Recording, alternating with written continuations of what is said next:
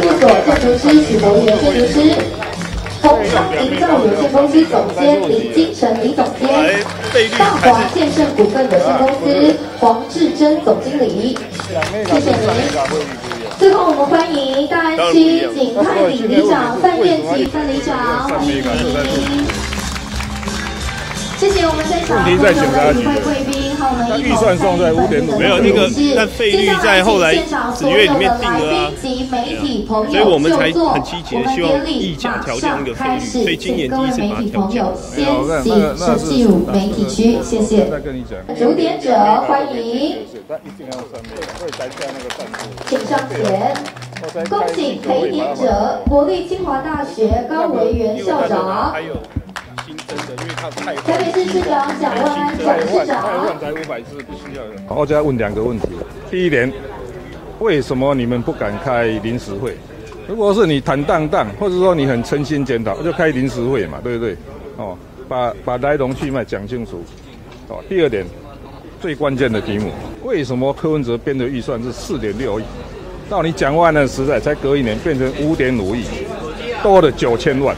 这两个问题要先回答。好。这故事是这样，我当台北市长八年，总共只有两次去议会复议，一个是重阳敬老金，好，我想这大家都理解。第二个就是台视光的传输的这种费用，加一个弹书，我提复议，那只有两件。你想想看哦，复议在议会是都等重大的事情，没有特别理由，行政单位不会去提复议。台北是有一万多支的这种摄影机，当时哈就有议员在施压，前任警察局长他也他也觉得压力很大，后来我跟他讲，好，那不然这样。我来扛，所以当时是我跟当时的陈志陈陈志明秘书长，我们两个自己跳到跳下来到警察局开专案会议，把四期顾问公司啊全部都找来。后来证明就是说，其实绝大多数的状态下，两 mega 传输速率就可以解决，因为科学在进步，软体在进步，所以不必需要用三 mega 的传输速度。那么这个厂商为了多赚点钱，就去去施压，意味说能不能？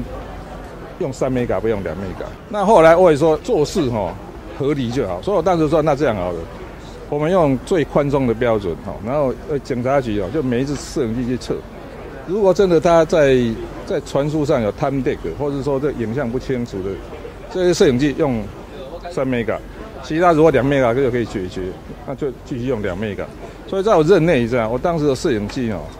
使用三 mega 只有二十三 percent，七十七 percent 的是用两 mega。今天的问题在哪里呢？就是贪心，他就想要再赚更多，所以需要一百 percent 的都用三 mega，就只有这样。蒋万安说汇率是我定的，我跟你讲，我只问一个题目：汇率是我定的，为什么我的预算是四点六亿，到你的预算是五点五亿？这才是关键嘛！因为你就是要把两 mega 从那个二十三 percent 的的这个三 mega。改成一百多人全部用三 mega，就是这样，故事就这么简单。政治上是这样的哦，如果合理啊哈，讲得过去，大家都也愿意给议员面子，大家愿意帮忙。今天这个案子为什么会爆出来？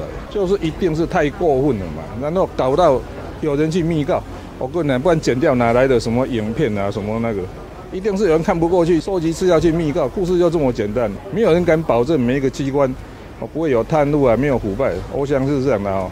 最一流的外科医生手手术死亡率也不是零，但是比较低。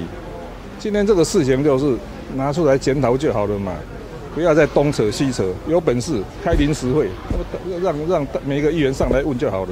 看不惯的议员很多。这个案子哦，有两个台北市议会有两个议员最清楚，一个林世忠，一个是王世坚。你们去问王世坚，哎，他很少赞成我的意见呢。只有这一件事情，他是赞成我的。我当台北市长，我最后一份公文写什么？你知道？财团勾结议会，榨取国家钱财。我的幕僚说：“哎，市长，你一定要写的这么这么难听吗？”我说：“哦，一定要留下来，不然他明年不知道搞什么鬼。”我要讲的是什么？你知道？